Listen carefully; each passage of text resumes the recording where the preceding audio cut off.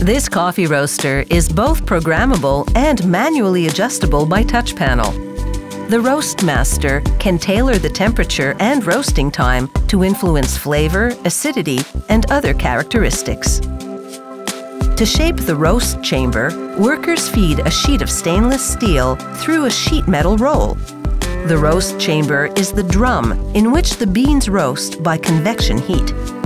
A paddle inside moves the beans around so that they roast evenly. The next step is to weld the rolled sheet into a cylinder. Then they grind and polish the welds until they're flat, smooth, and shiny. They make the cooling tray in a similar way, but with a support band welded to the top. The cooling tray is the drum into which the hot beans drop when they exit the roast chamber.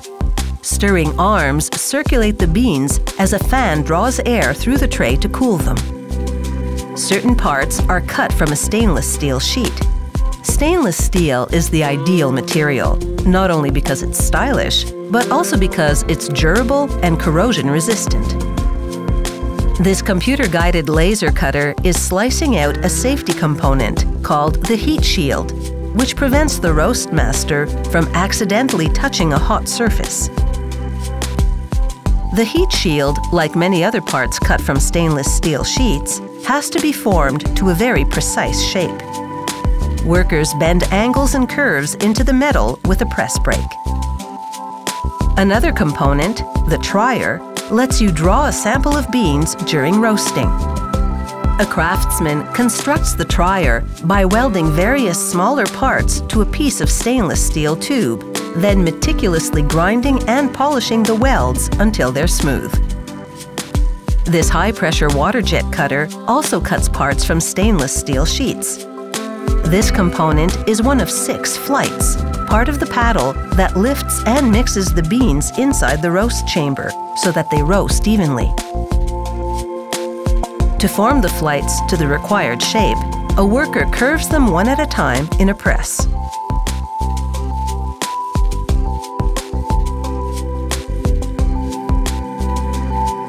The welder places all the paddle components into a specialized fixture, which positions them correctly. First, he aligns the spokes to the paddle shaft. Then he welds them in place.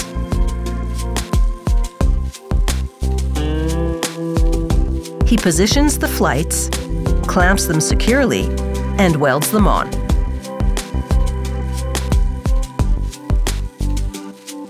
The combination of inner and outer flights lifts the beans into the airflow, ensuring they roast evenly.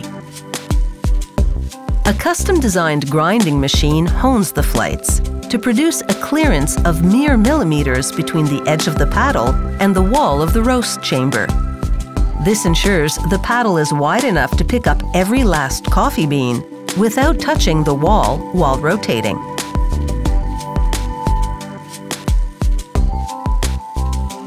Once they install the paddle, they close up the roast chamber with a faceplate. Alignment pins ensure the faceplate is properly positioned. The paddle shaft protrudes through a bearing in the faceplate. The assembly team uses a hoist to lift the heavy chamber and position it on top of the coffee roaster's stainless steel support frame. They install the heat shield that was cut by the laser cutter and bent to shape in the press brake. On top, they mount the machine's funnel-shaped hopper. It feeds the unroasted coffee beans to the roast chamber below. Thankfully, you don't have to climb up to the hopper lugging a heavy bag of beans. The hopper's lid has a tube which connects to a vacuum system that draws the coffee beans up through a plastic hose. On the front of the roasting chamber, they hang a hinged discharge door that has a viewing window.